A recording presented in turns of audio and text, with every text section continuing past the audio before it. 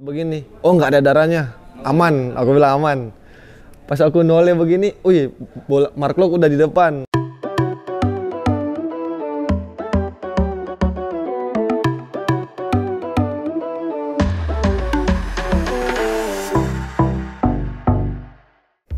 Halo, nama saya Gianluca Pandenu, goalkeeper Borneo FC. Asal saya dari Manado. Em, mungkin kepengen jadi pemain bola itu karena rasa dari dari papa saya sih. Papa saya kan soalnya dulu main bola juga kan. Jadi mungkin saya, apa lihat dia ikut dia latihan. Jadi saya kayak ah kepengen nih jadi pemain bola juga. Tapi dari papanya nggak ngarahin, oh kamu harus jadi pemain bola nggak gitu.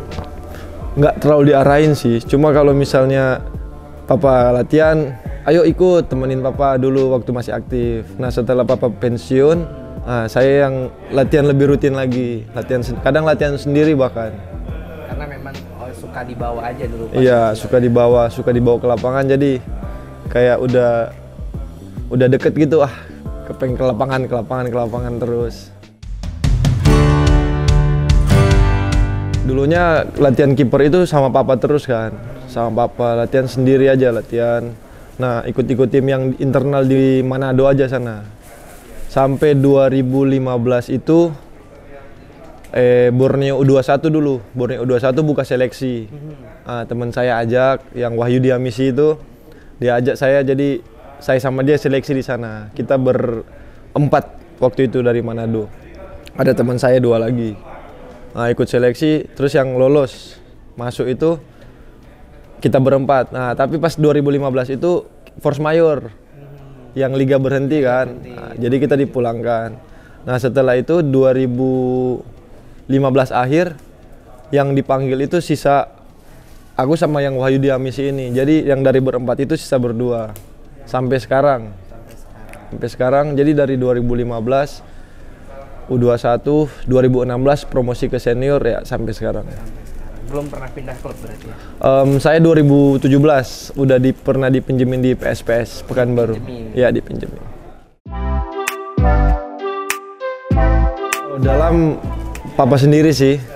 Ya Bisa dimention nama bapaknya? em, Hendra Pandeno dulu mainnya di Persma, Persmin, Persibom yang di luar Manado itu Persita, em, Perseden, dan Pasar. Kalau di luar, Di luar Buffon. kenapa? Kenapa suka sama Buffon?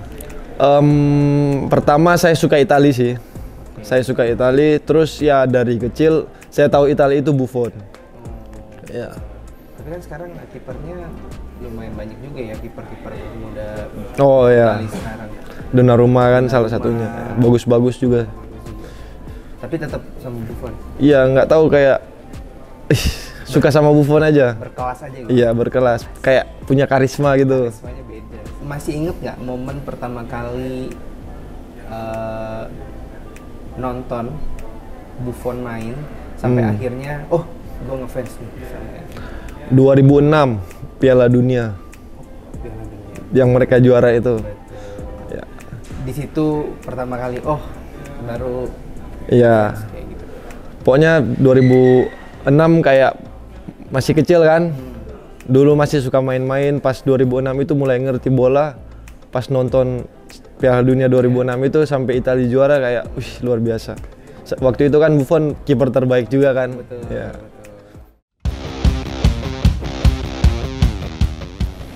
Aku rasa sih semua pemain sama ya. Maksudnya semua tim sama. Cuma yang yang paling melek, yang paling ngeri itu lawan Persipura. Nah, kakak Boas tuh. Siapa maksudnya siapa nggak tahu kakak Boas Salosa kan? Pas 2019 main laga terakhir Borneo lawan Persipura tuh main di Surabaya. Skor udah 2-1, udah mau menit-menit terakhir itu kakak Boas cetak gol itu jadi dua sama. Jadi Borneo gagal menang waktu itu. Aduh. Nyesek itu. Pengalaman tersakitnya. Iya, pengalaman tersakit. Sekarang Sekarang satu klub, satu kamar. pernah pernah bilang nggak ke papa bosnya dulu aku sakit hati sama papa Udah, udah pernah, udah pernah. responnya kayak gimana Ya ketawa aja. Ketawa. Ketawa aja kita bawa happy-happy aja kan. Bercanda jadi apa jadi kayak bahan guyonan gitu. Momen terbaik, kalau momen terbaik sih yang pasti main di liga sih. Soalnya ya kita aku juga belum pernah bawa Borneo prestasi jadi masih kepengen buat buat kasih prestasi lah ke tim kan. Paling yang kalau paling membekas sih yang pas kita ngalahin Bali United 6-0 itu main di kandang. main di kandang Iya, main di Segiri 2019. 2019 Awal awal awal aku main liga langsung ketemu Bali United itu kan apalagi waktu itu Bali United peringkat satu terus. lagi tinggi Lagi tinggi-tingginya terus kita bisa kalahin 6-0 itu ah, kayak bangga aja waktu itu. tapi serangan banyak nggak waktu itu Serangan banyak juga sih. tapi alhamdulillah ininya Ya.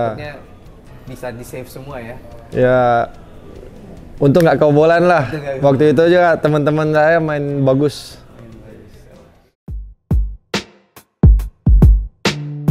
Ya nggak usah dipikirin sih. Mencoba untuk nggak usah dipikirin. Lebih ke em, ya udah kita evaluasi, perbaiki, buat ya lebih baik ke depan. Namanya juga manusia kan pasti tetap buat kesalahan. Ritual ritual sebelum main ya doa sih doa telepon orang tua nelpon orang tua wajib nelpon kerabat ya minta doa semua nelpon pacar dialognya apa? Oh. canda ya kayak. Cedera paling parah. Cedera. Ini sih waktu lawan Persija 2020 hantaman atau gimana? Eh kena tiang. Oh kena dia iya. Heading bola kan udah biasa kan. Aku heading tiang. Itu abis Kurang greget apa ya? atau gimana? Atau langsung tarik ke samping atau tetap main Ganti. sampai akhir? Tetap main sampai akhir. Oh, tapi darah keluar. Darah kelu jadi pas waktu itu benturan kan tak aku lihat aku pegang begini wih kenapa ini? Pas lihat begini oh nggak ada darahnya. Aman aku bilang aman. Pas aku noleh begini wih bola Mark Lok udah di depan udah mau tendang bola. Aku berdiri lagi aku lari aku langsung tutup. Pas tutup begini bola kena sih aman kaki masuk. Oke jadi habis kena tiang di sliding di dada. Aduh. Tenggelam. Apa sih? Rasanya dia jatuh ketimpa oh iya. tangga. Iya. tangga kok tenggelam sih? Nah, abis nah setelah itu baru teman saya yang Diego Michel kan langsung panggil, wah wasit wasit wasit. Berdarah berdarah berdarah. Aku kayak kaget ah masa? Nggak apa aku nggak nge kalau yang sarung tanganku waktu itu kan hitam baju hitam jadi nggak kelihatan. Jadi pas pertama udah gini ah nggak apa-apa. Pas lihat lagi Omar Klok udah depan berdiri kejar bola. Ya Persija. Yang 2020 itu kita main pertama lawan Persija Oh, di sebelum sebelum di pending. Iya, main di GBK kan waktu itu. Pasti sih dapat support, dapat support ya pengaruh lah. Buat naikin mental atau enggak buat nurin mental lawan kan gitu. Em, sporternya antusiasmenya udah lebih baik sih daripada sebelumnya.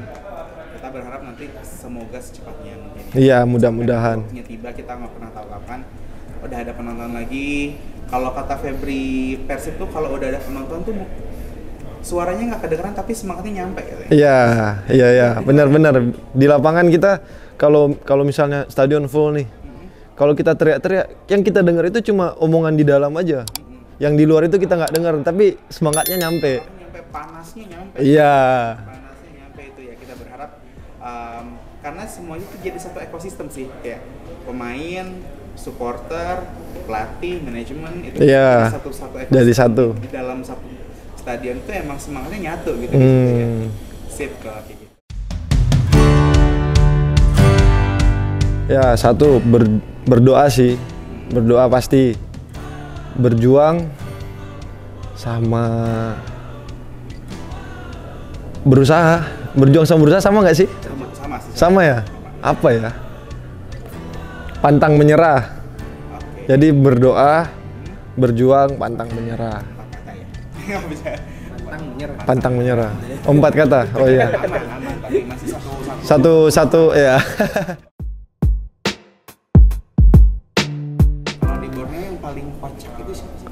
Oh dia misi. Kenapa? Dia selalu apa misalnya? Ya kalau misalnya ya pokoknya kalau ngumpul dia yang paling lucu. Paling lucu. Ya. Kalau misalnya paling panutan ibaratnya. Paling panutan. Paling panutan senior banyak sih. Takut salah ngomong. Aku salah ngomong. Eng- Enggak, enggak.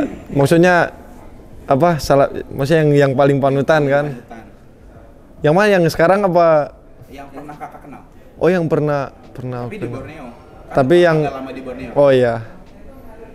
Paling panutan.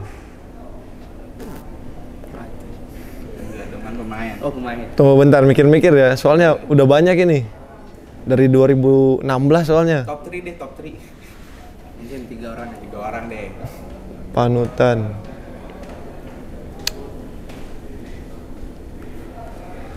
Hmm. Liutu Pamahu.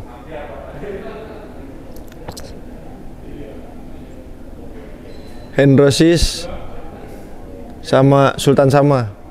Oke, itu tiga pemain panutan menurut seorang Gianluca. Iya.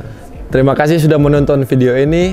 Jangan lupa untuk menonton video-video selanjutnya. Jangan lupa like, comment, subscribe Tiento Indonesia.